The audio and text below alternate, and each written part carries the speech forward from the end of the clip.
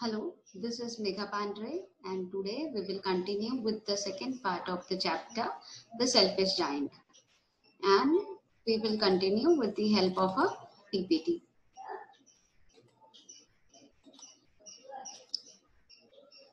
Now, hopeful. But the spring never came, nor the summer. The autumn gave golden fruits to every garden, but to the giant's garden she gave none. He is too selfish, she said. So it was always winter there, and the north wind and the hail and the frost and the snow danced about through the trees. Now, in this, the spring came to every garden, but to the giant's garden was always hail, frost, and snow danced. Now, with this paragraph, one morning the giant was lying awake in the bed when he heard some lovely music. It sounded so sweet to his ears that he thought it must be the king's musicians passing by. It was really only a little linnet singing outside his window. But it was so long since he had heard a bird singing in his garden that it seemed to him to be the most beautiful music in the world. Then the hail stopped dancing over his head, and the north wind ceased roaming, and a delicious perfume came to him through the open casement. I believe that I believe the spring has come at last, said the giant, and he jumped out of bed and looked out. Now, one morning, the giant heard the melodious song of a bird. Initially, the giant thought that it must be the king's musician passing by. He saw a wonderful sight. Through a little hole in the wall, the children had crept in and were sitting in the branches of the trees.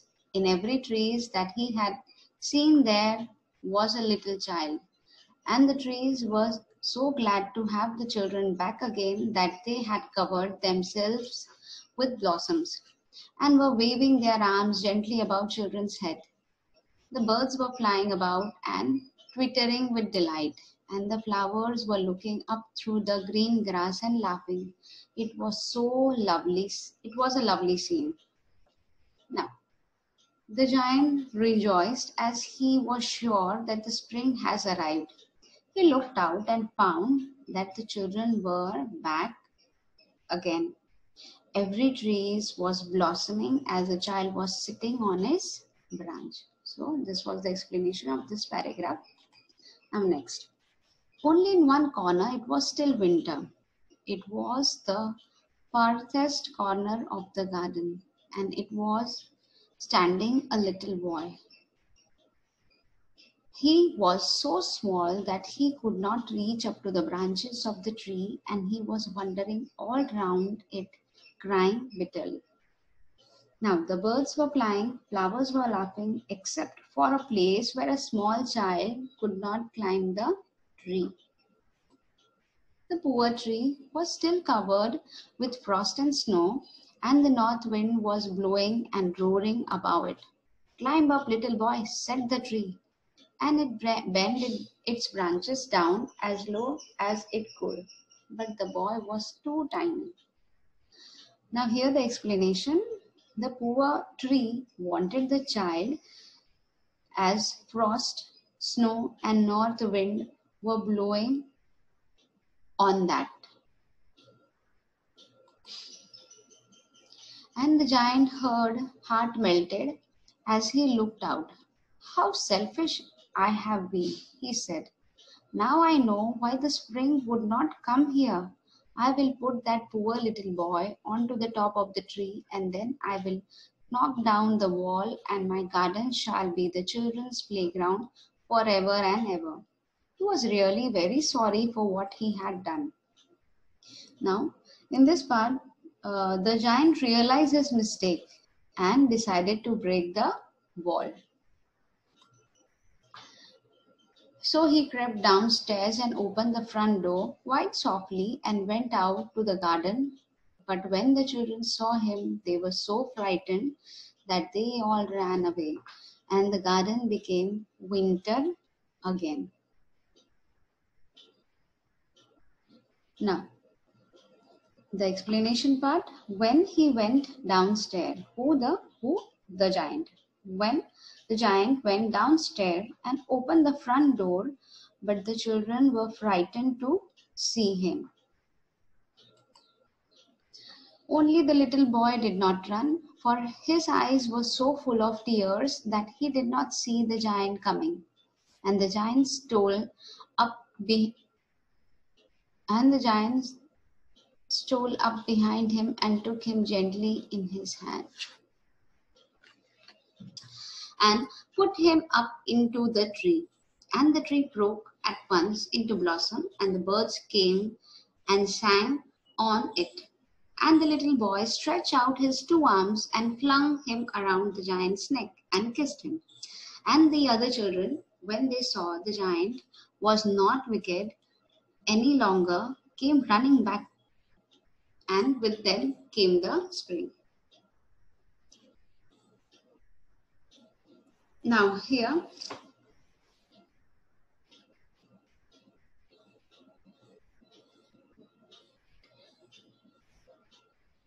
the small boy could not run away. The giant lifted the boy and put him onto a branch of the tree. The tree blossomed at once. Now, it, it is your garden now, little children, said the giant. And he took a great axe and knocked down the wall.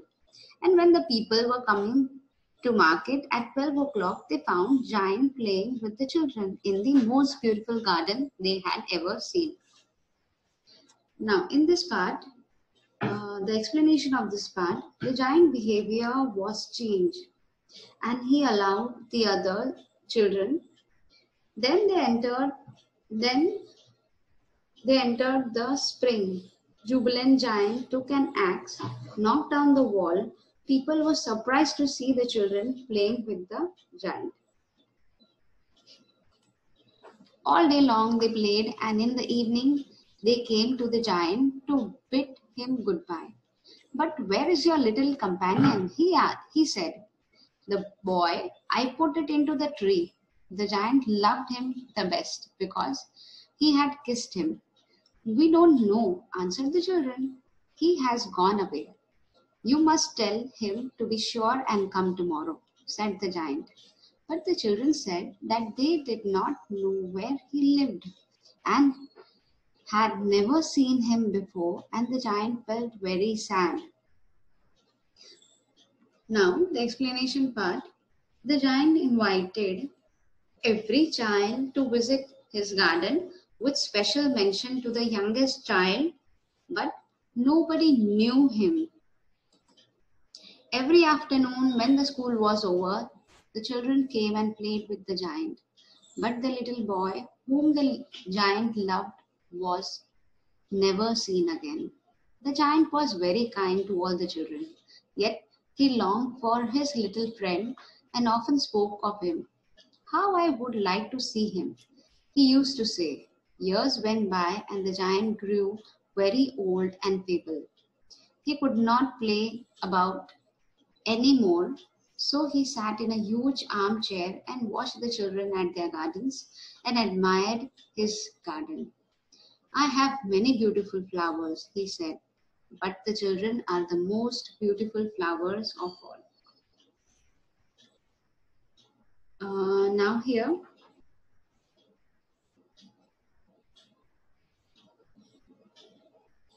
the giant was kind to every child. Years rolled by, the giant grew very old. He watched the children playing while sitting in an armchair. He said that the children are the most beautiful flowers of all. Now, one winter morning, he looked out of his window as he was dressing. He did not hate the winter now, for he knew that it was a merely the spring asleep.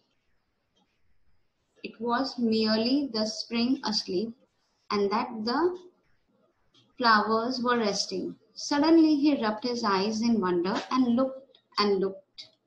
He's, it certainly was a marvelous sight. In the farthest corner of the garden was a tree quite covered with lovely white blossoms. Its branches were golden and silver fruits hung down from them, and underneath it stood the little boy he had loved. The giant no longer hated the winters. One winter morning, he was surprised to see the lovely wild the blossom, white blossom, sorry. And one morning, he was surprised to see lovely white blossoms. Its branches were golden, bearing silver fruit. They were the little boy sitting, and there was the little boy was sitting underneath. Downstairs ran the giant in great joy, and into the garden.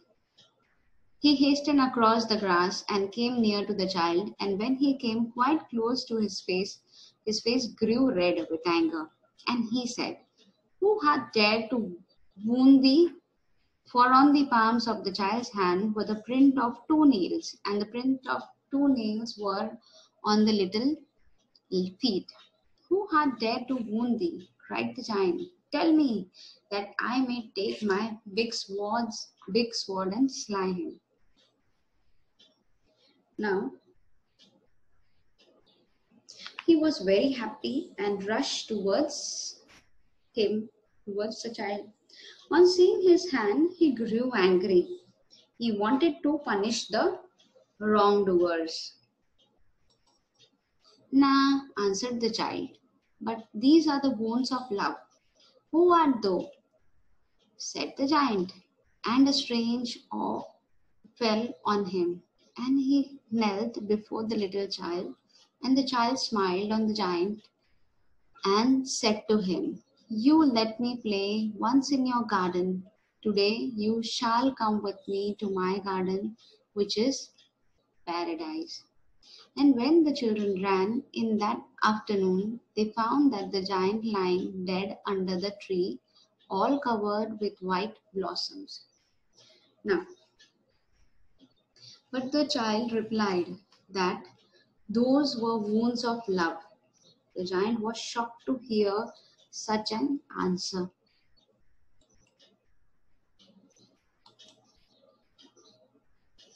And he then asked about him, who replied gently that once he allowed him to play him in his garden, now he would take him along.